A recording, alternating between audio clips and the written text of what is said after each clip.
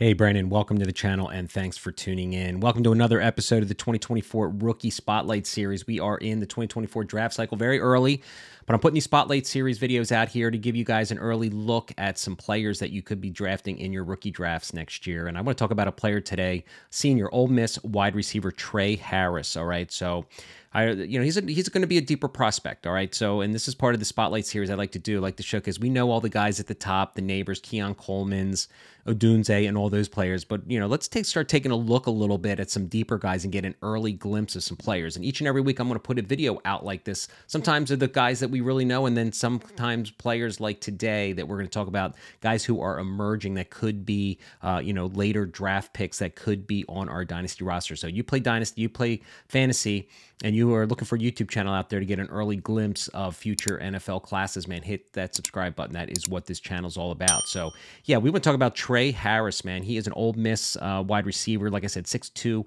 205 pounds, good size. Um, he's a senior, right? So three years he played at Louisiana Tech.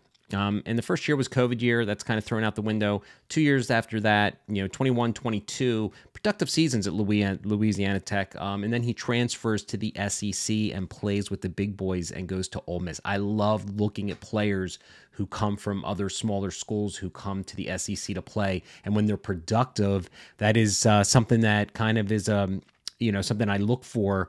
And Tre Harris has been killing it, man. So let's look at the stats here on the season so far. This is through week 11 of college football. Has 40 receptions for 761 yards, um, averaging 19 yards a, ca- a, catch. So he is a vertical threat with seven touchdowns. You can see his offensive grades here. These are grades from PFF. His offensive and receiving grades. All right. So he plays, uh, you know, primarily out wide. So he's going to be a boundary receiver. Really lines up in the Z position a lot when you're going to watch the film.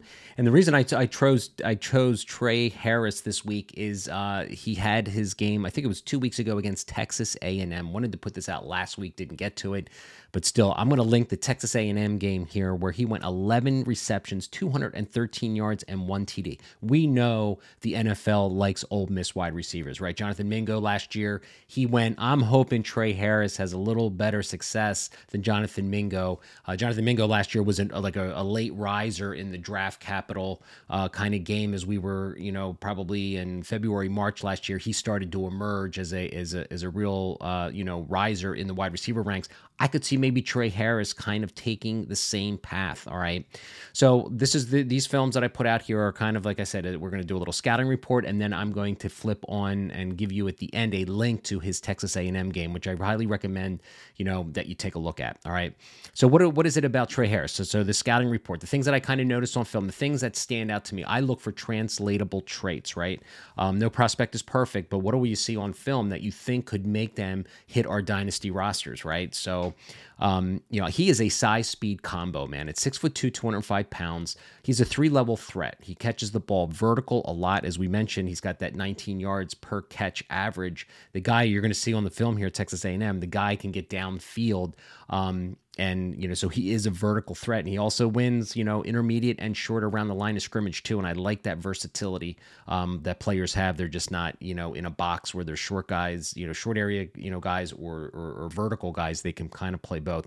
And watching film i've watched three or four games of tre harris. In fact i think i have another film on this youtube channel um, not the texas a&m aim game but another one as well for you to take a look at um, I like the thing that stood out to me is he kind of wins the one-on-one matchups. And what do I mean by that? Well, I think he can win one-on-one matchups at the line of scrimmage, and he can also win those one-on-one matchups, you know, downfield vertical. There's a there's actually a catch that is pretty amazing on the film that you're gonna I'm gonna link here very shortly uh, for you to take a look at a one-handed grab on the sideline, which lends me to the next trait that I kind of see that I like about him is he's got his good length, he's got good strong hands.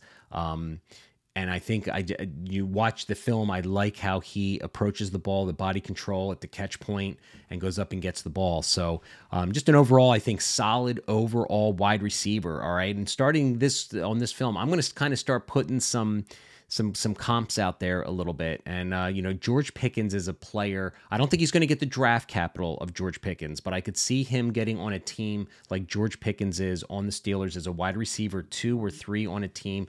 Now, there's a lot of people that think George Pickens is going to be the wide receiver one on the Steelers, and he might be, but right now he is not, and I'm not sure he's ever going to get to that level. But when you watch Tre Harris, kind of like um, you know George Pickens, physicality um, the, the the boundary awareness, the, the, the ability to catch the ball, uh, you know, deep and vertical, win those those contested catch things, and that's George Pickens's games too. I think Tre Harris is a decent route runner. I think he's got some some space creation, kind of like George Pickens. That's probably not his bread and butter, like the the ability to you know twist a defender up and and, and create space for himself. He's more of a you know get, throw the ball up and let George go get it. Tre Harris kind of similar traits when you watch his film, but overall, I like Tre Harris. I think he could be a you know a day three pick. All right, so what you're looking at right now here is uh, his uh, basically his average draft position on NFL Draft Mock Draft Database.com. That's always a tongue twister for me. Um, and uh, so you can see here he is like projected to the fifth or sixth round, you know, down in the 209 area. Okay. I've been seeing him rise a little bit. This guy is going to be a day three pick. He's not going to be a day two pick. But Puka Nacua, I'm not going to say he's Puka Nacua. I'm just saying there are diamonds in the rough on the day three. And on this channel, I want to showcase some of these guys that are deeper players, not just, you know, I'm going to have the Nabers films out. I'm going to have, like I said, you know, the, the Xavier Worthies and the Ladd McConkey, who I just put out a film just like this on Ladd McConkey, who's like one of my favorites uh, in the wide receiver class of 2024.